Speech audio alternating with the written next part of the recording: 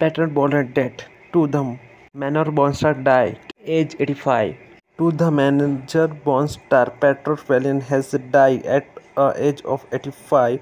The actor based now for playing the Richard DeVere in the BBC sitcom has been battling cancer. A statement to the PA News Age side. The actor Petros has sadly passed away at the age of 5 for the cancer, starting his cancer at the Old Vic Theatre in 1956. He is starting in 45 theatric production ending at the age of 81 in extraordinary at work consisting on stage and screen, becoming a household name on TV as the uh, the artificial England at to the manor born only when I the bounder and later Darius, which he devises himself. He leaves his wife on over 16 years and hired there the children's guys Adams and Sahas.